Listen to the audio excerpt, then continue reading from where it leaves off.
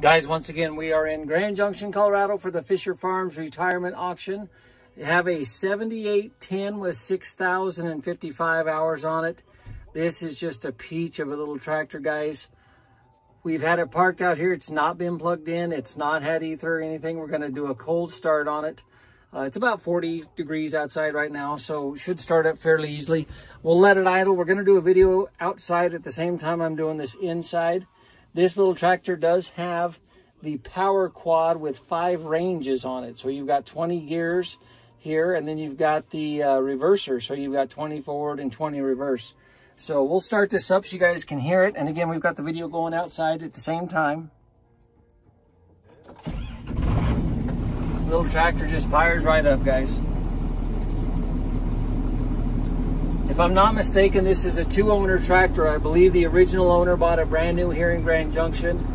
Art's family bought it from them several years ago. It had about 3,000 hours when they bought it.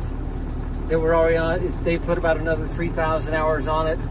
Um, just a good, straight, clean little tractor. We've got three remotes on the back, guys three point with a quick hitch, John Deere quick hitch.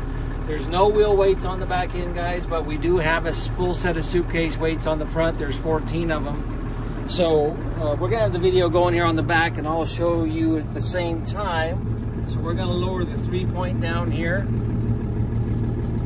And things are a little cold this morning, so it's moving a little slow, guys, but it is going down.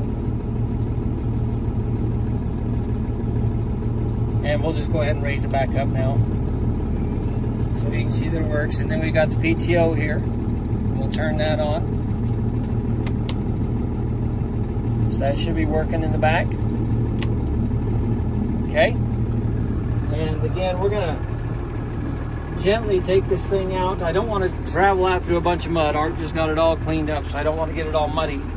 But I do want to show you, so power steering, tractor steers nice.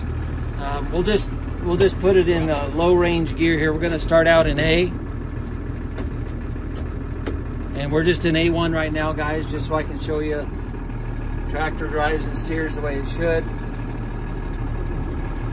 Turns the way it should. Right brake, left brake, brakes all work the way they should, guys. Okay, we'll, we'll back it up here. Do the same thing, I'll just back it up real slow. I will go through there second, third, fourth, show you that the power shift does work on that. Gonna go forward one more time here. I'm gonna go into the B range now on this. And I'm gonna pull this, whoops, we're still in reverse. This is why I gotta be careful. We're still in reverse there. And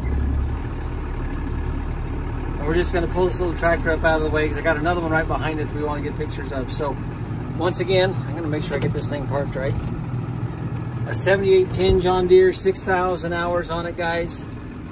Right here in Grand Junction. It'll be a live auction on February 26th. We will also have simultaneous online bidding on EquipmentFacts. So if you're a long distance away, you can bid online. Wanted to try to show you some of the inside of the cab here. Pretty clean inside cab. This is just a nice little 7810 John Deere, guys.